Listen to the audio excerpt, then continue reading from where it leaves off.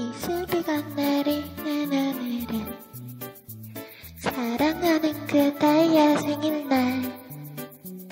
온종일 난 그대를 생각하면서 무엇을 할까 고민했죠. 난 가까운 서점에 들러서 예쁜 시집에 날만 담았죠 그 다음엔 근처 컵집으로 가서 빨간 꽃상 한 송이 샀죠.